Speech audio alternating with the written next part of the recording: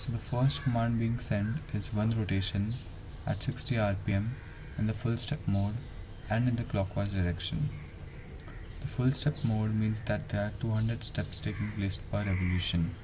So the frequency of the uh, pulse width modulation has to be modified according to each of the uh, steps per revolution that we have. The half step mode means that there are 400 steps taking place per revolution.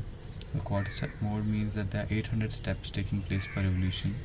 And the eighth step mode means that there are 1600 steps taking place per revolution.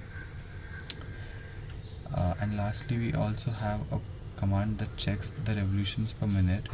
So we'll be having 150 rotations at 150 rpm. So this command should be complete in exactly one minute.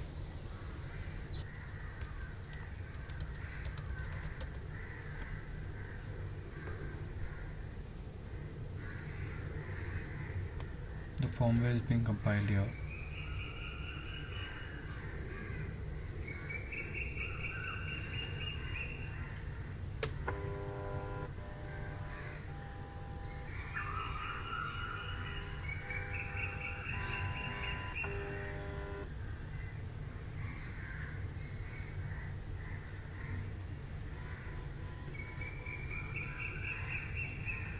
The next one is 150 rotations at 150 rpm.